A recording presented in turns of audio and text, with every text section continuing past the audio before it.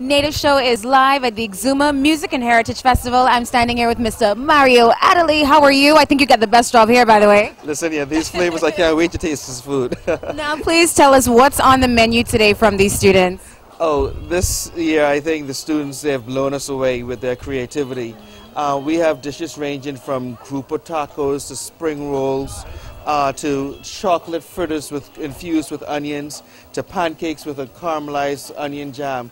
So I'm like, my stomach is like, I know, anticipating just the flavors and and just you know critiquing these things. So I'm excited. Awesome. Now, what do you look forward to the most when you're judging? You know, what separates one dish from the next? next. Well, of course, you know creativity. Uh -huh and um, you can have a creative concept, but then once you can deliver that to a plate and um, so once it gets on the plate, we look to make sure that the techniques are there. Um, it has to be visually appealing. And of course, it has to have that aroma that pulls you into it and make you want that. Standing here with Mrs. Simeon Hall Jr., judging the culinary competition today. How's the day going? What are you looking forward to? Well, um, I'm looking forward to finding some new ideas. Mm. Kids are very honest mm -hmm. and open to doing stuff the way that we may be inhibited to do, yeah. they don't really care because they don't know the rules, yeah. so they break them. so yeah. Okay, so what are you looking for when you sample the dishes, when you are judging the dishes and looking for flavors? What are you looking forward to the most, and what stands out to you the most? Um, flavor. Mm -hmm. Um, it has to taste good. Mm -hmm. I mean, regardless of whatever you make, it has to taste good. Yeah. And then you have to have the creativity behind it, the use of the ingredient, it has to stand out. So if it's onion, it has to taste oniony. And then I'm looking for a dish that is practical. Mm-hmm. Something that you could use in a restaurant, use in your home, use after the competition is over.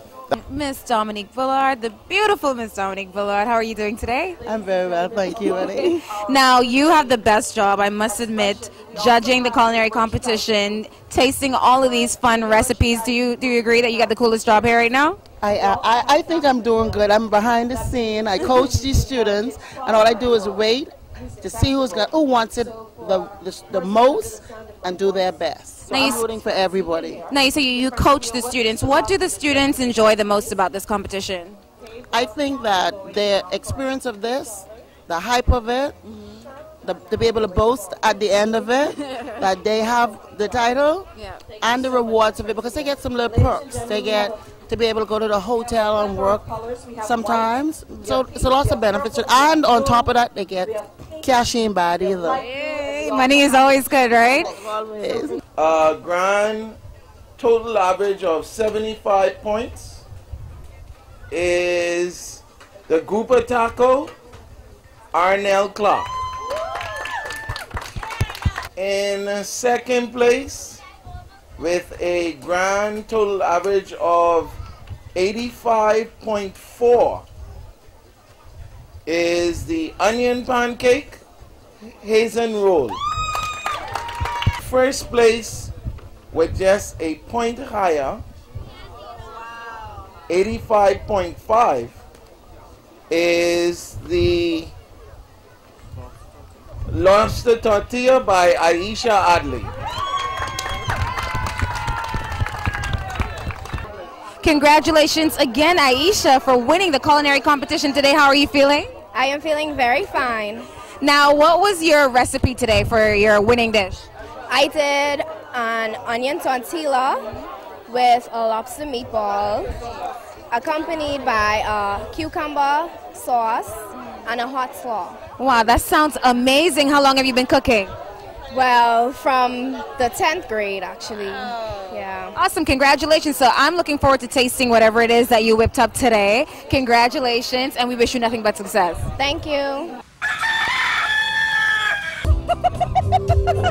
I'm here at the Music and Heritage Festival here in Exuma with an amazing sailor visiting Exuma. How was your experience here in Exuma? It's the best around here we're like in paradise here. Uh, okay, so are you an angel? Oh, I am. I like to think so. I'm looking for your wings. Okay. Come back, Liza. Come back, girl. Wipe the tears from. Standing there in the marketplace, water come to me high. I went down to the marketplace, water come to search for that girl Wipe the tears from behind Come back Liza, come back girl. Wipe the tears from behind I remember when the love was new. Water come to me high There were more and others too? Water come to me high